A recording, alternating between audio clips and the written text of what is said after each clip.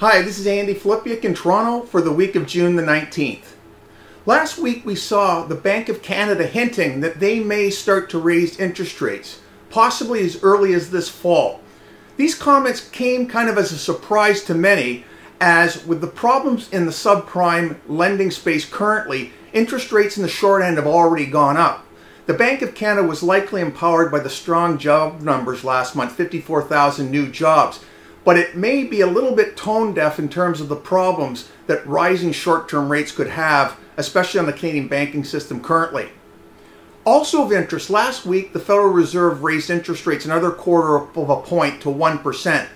More importantly, they stated a plan to outline how they will specifically unwind their balance sheet. And this is hugely significant to any investors in the US or anywhere around the world, as an unwinding of the Fed's balance sheet could be huge.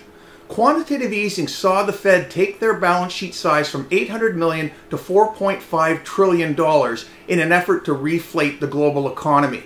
What the Fed in effect did was print money out of thin air, buy government bonds, move the bonds into their balance sheet, and all that cash the Fed created found its way into the banking system.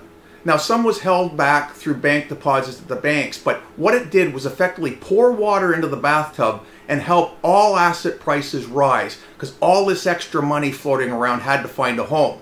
The same thing happened with other central banks, Japan, China, and Europe. Now what the Fed is saying, they will begin soon in taking money out of the system. That is, selling some of the bonds on their balance sheet for cash in the system, taking the cash, putting it back on their balance sheet, and extinguishing this. This is effectively like pulling the plug on the bathtub.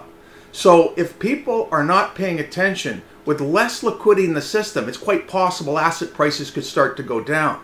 Because one thing about markets, they like to anticipate. And if the Fed is actually going to follow through with this, the financial markets may not like this.